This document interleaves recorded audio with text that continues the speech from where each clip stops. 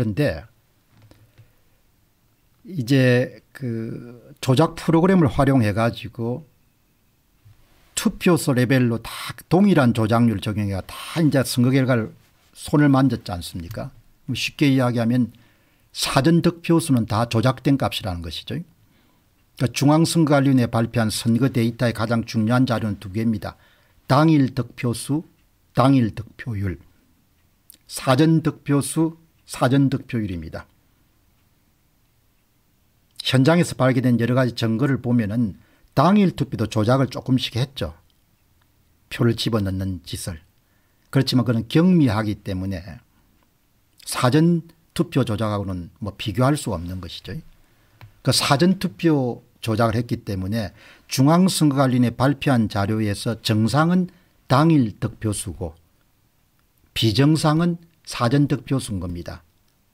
그 정상하고 비정상을 비교하게 되면은 금시에 탈로가 나는 거죠.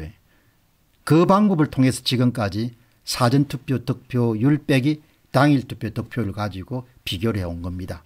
두 가지가 0에서 3% 차이 정도에 머물러야 되는데 딱 여러분들 깨보니까 서울시 종로구 같은 경우는 무려 15% 플러스 15% 마이너스 15% 30%가 나온 것이고 오세훈 후보가 출마했던 서울 광진구을 같은 경우는 플러스 13% 마이너스 13% 26%가 나온 거 아닙니까? 그런데 이제 거기서 한 단계 더 진행한 이제 뭘 찾아냈냐 조작 프로그램을 찾아낸 거 아닙니까? 아마 그쪽 동네 사람들 선거를 조작했던 그쪽 동네 사람들 실무자들이 가장 두려워하는 것이 조작 프로그램을 찾아내는 걸 겁니다. 조작 프로그램을 찾아내게 되면은 사전투표 득표율 빼기 당일투표 득표율 같은 그런 차에서 한 단계 더 진행하는 거죠. 후보별로 진짜 득표수가 나오게 되니까 후보별로. 후보별로 진짜 득표수를 계산한 방법은 간단하지 않습니까 동일한 조작률 적용했기 때문에 종로구 같은 경우는 60개의 투표소에서 동일한 조작률 적용해 가지고 훔쳐간 표를 다 수정하는 거죠. 그럼 60개가 나올 거 아닙니까 60개를 다 합산하게 되면 후보별 사전 수정 사전 득표수가 나오는 거 진짜 득표수가 나오는 거죠. 그 진짜 득표수하고 중앙선거관리위원회 발표한 당일 득표수 합치게 되면 진짜 후보별 득표수가 나오는 겁니다. 그러니까 꼼짝마죠. 후보별 득표수를 구해보니까 여러분 뭔가 하니까 전국을 다 조작을 한 겁니다. 전국의 시장, 군수, 구청장 그걸 다 조작을 한 겁니다. 시의원, 의회 의원만 여러분 조작을 한 게 아니고 구청장도 다 조작을 한 겁니다. 심지어는 보수 색채가 아주 강한 비교적 부유하신 분들이 많이 사는 대구 광역시 수성구도 뭡니까 그것을 훔치기 위해서 조작을 하는 겁니다. 물론 당일 득표수가 워낙 자유한국당이 많이 땄기 때문에 실패했지만 대구 중 부산광역시 중구 구도심지지 않습니까? 나이가 드신 분이 많이 살지 않습니까? 거기도 여러분들 똑같은 동일 조작률 20%가 적용해 가지고 대구 중구청장도 뭐죠? 더불어민주당이 먹기 위해서 조작을 한 겁니다. 전국을 다 조사해 보지 않더라도 2018년에 대구광역시 수성구 부산광역시 중구 이런 몇 군데만 여러분 조사를 해보더라도 이 사람들이 광역시권별로 동일한 조작률을 적용했고 모든 프로그램을 다 전국에 돌린 겁니다. 광역시 의회뿐만 아니고 바로 구청장 시장 도지사까지 훔치기 위해 가지고 조작을 한 겁니다. 근데 협치하자고? 근데 의회주의라고?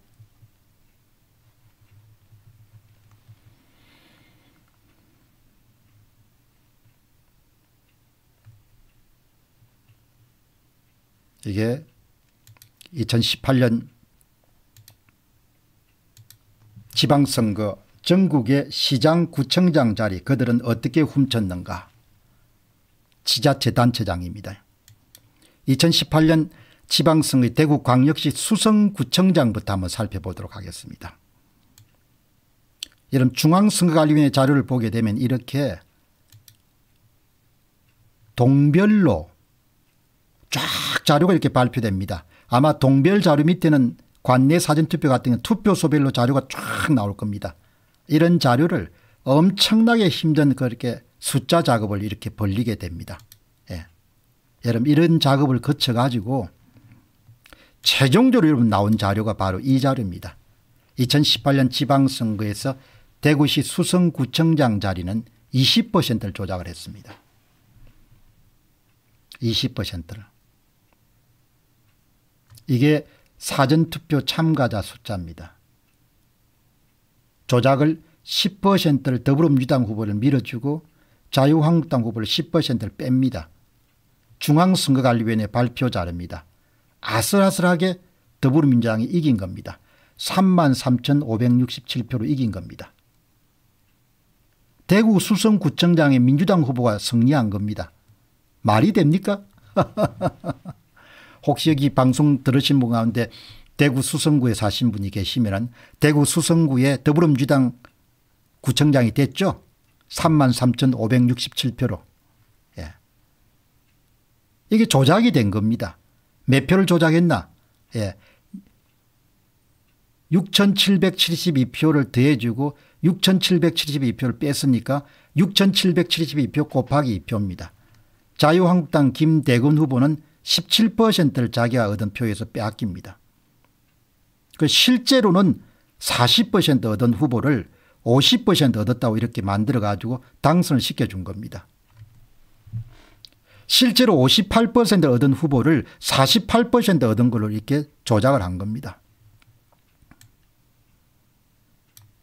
여러분 그럼 실제로 이런 결과가 어떠냐 여러분 실제로 결과를 계산해 보면 맨 하단에 있는 겁니다. 김대건 후보가 12만 3063표를 받은 것이 이게 진짜 득표수입니다. 더불어민주당의 여러분들 이 저 뭐죠 남, 남치룬 가르치는 구청장이 8만 4,580표를 얻은 겁니다. 예, 이렇게 여러분들 계산한 겁니다.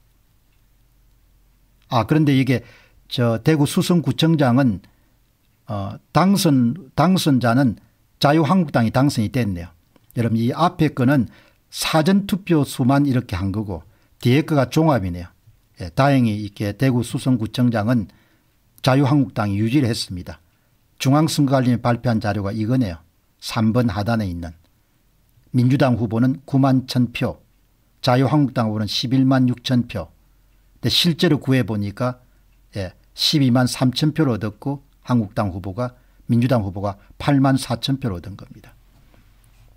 이렇게 조작을 심하게 한 겁니다.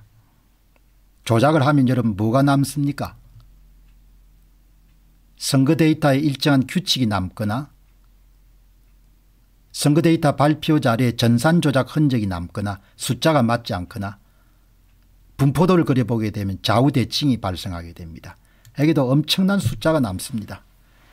맨 하단에 있는 것이 중앙선거관리에 발표한 자료입니다. 이거는 우리가 진짜 득표수입니다. 진짜 사전 득표수. 여러분 그런데 보니까 숫자가 맞질 않습니다. 민주당 후보는 중앙선거관리에 발표한 9만 1481표보다 진짜가 9만 1352표로 129표나 남습니다. 숫자가 맞지 않는 겁니다. 이렇게 조작을 하게 되면. 전산 조작을 많이 했기 때문에 이렇게 숫자가 맞지 않는 겁니다. 이 원인은 전산 조작을 해서 반올림하는 과정에서 발생한 현상일 수도 있고 그 다음에 표를 무더기로 투입했을 가능성도 높습니다. 중요한 것은 중앙선거관리원회 발표 자료가 진짜 득표수가 안 맞는다는 겁니다. 자유한국당의 김대근 후보는 중앙선거관리원회 발표 자료인 11만 6,422표가 진짜 구한 걸 11만 6,291표보다 131표가 남는 겁니다. 두 개를 합치고 무효표를 합치게 되니까 269표가 남는 겁니다. 엉망진창인 겁니다. 여러분 그래 가지고 숫자가 맞지 않으니까 전산 담당자들이 뭘 설치했느냐 잘못 투입 및 구분된 투표자 항목을 만들어 가지고 개수 조정을 하는 겁니다. 좌우가 맞게 개수 조정을 마이너스 269를 만들어서 집어넣은 겁니다. 그러니까 이런 표를 만들어 가지고 예. 이 뭐 불가피하게 숫자가 맞지 않으니까 269표라는 잉여 투표 지수가 나온 겁니다. 잉여 투표 지수가 나왔기 때문에 그것을 수정 보완하기 위해 가지고 마이너스 269표를 만들어 가지고 그래서 그냥 좌우가 맞게끔 만든 겁니다. 이게 조작 증거입니다. 이게 조작 증거죠. 음. 정상적으로 하게 되면은 제일 하단에 있는 예상 득표수하고 그 위에 있는 수정 득표수가 수정 사전 득표수하고 예상 사전 득표수가 정확하게 일치하기 때문에 문제가 없습니다. 조작 프로그램이 정확하다는 이야기죠. 예. 조작 프로그램이 정확하기 때문에 예. 이렇게 오차가 전혀 없습니다. 조작 프로그램이 정확하기 때문에 선관위 발표하고 이런 진짜 득표수하고는 엄청난 격차가 생기는 겁니다. 왜 이렇게 조작지들을 다 한 겁니다.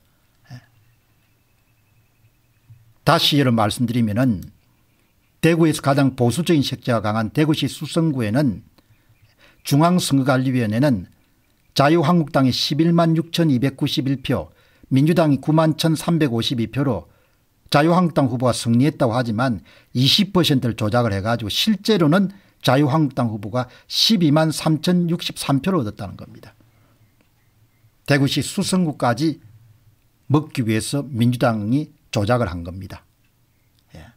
이런 일이 여러분들 일어난 겁니다. 여러분 그러니까 쉽게 이야기하면 대구시 수성구청장을 그냥 더불어민주당 측이 먹기 위해 가지고 사전투표 참가자 수의 20%를 조작을 한 겁니다. 조작을 했는데 워낙 당일 투표가 여러분들 보시죠. 예, 대구 같은 경우는 이 보시면은 예, 당일 투표 득표율이 여기 보시죠. 2번 하단에 있는 것. 예. 당일 투표 득표율이 자유한국당이 58%를 차지했기 때문에 조작해도 이길 수가 없었던 겁니다. 58%를 당일 득표율이 있었기 때문에. 그러니까 여러분 조작 막, 막으려면 방법이 간단합니다. 당일 투표에 몰려가면 되는 겁니다. 딴 거 없는 겁니다. 너희들 법 좀 고쳐달라 QR코드 쓰면 안 된다 뭐 투표관리관 도장 쓰면 안 된다 아무리 해도 속, 속이 갱일기입니다. 사전 투표하면 그냥 조작당하는 겁니다. 그 당일 투표 가면 되는 겁니다. 대구시 수성구에 조작을 20% 했지만 당일 투표에서 58%를 자유한국당 이름들 대구 수성구청 구청장 후보가 얻었기 때문에 그래도 간신히 이긴 겁니다. 이렇게 노력을 하고 이야기를 했는데도 뭡니까 윤석열이 까라 김기현이 까라 권성동이 까라 다 뭡니까? 3구 대선에서 사전투표 하자고 야단 쌩 브루스를 꼈지 않습니까? 에휴. 뭐 지나간 일이지만 참 가슴이 철렁했죠. 저 인간들이 완전히 맛이 가버렸구나. 반지성주의의 대표자들입니다. 사실을 직시하는 것이 지성주의의 가장 출발점이지 않습니까? 사실을 인식하는 것이 지성주의의 출발이지 않습니까 윤석열 주변에 윤석열 후보는 지성주의가 반지성주의가 민주주의를 파괴하는 가장 중요한 요인데 하지만 그 윤석열 주변에 다 뭡니까? 반지성주의자들 판을. 이준석이 하태경이 김기현이 권성동이 모두가 뭡니까? 사전투표 조작을 인정하지 않으니까 반지성주의자들이 다 몰려 있는데 제대로 할 수 있겠습니까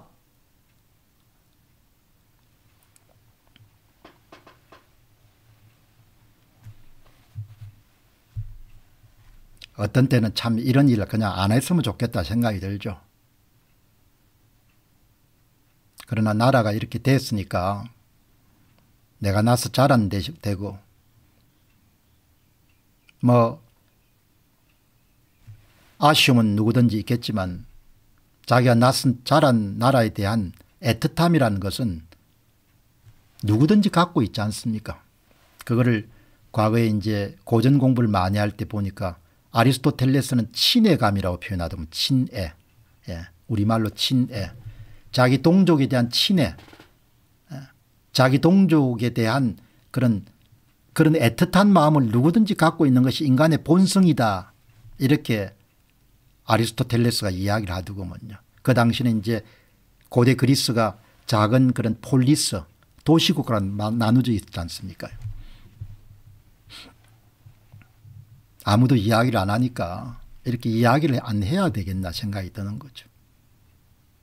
그래서 그런 면에서 보면은 뭐 여러분께서 제가 말씀드린 내용에 다소 격한 내용이나 조금 뭐 마음에 안 드는 내용이 있더라도 그런 소위 동족에 대한 친애감의 발로로서 이런 이야기를 한다. 그렇게 이해하시면은 아마 두루두루 좀 이해심을 넓힐 수 있지 않겠느냐 그렇게 생각합니다.